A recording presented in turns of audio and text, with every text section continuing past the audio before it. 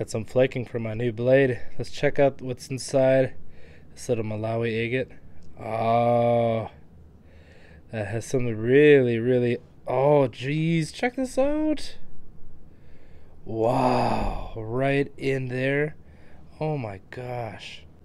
That is so pretty. Those yellow bands inside there. Got some kind of orangish, orangish peach colors going on in there. That is so pretty. Wow.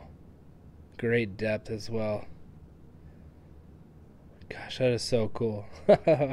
awesome little Malawi agate.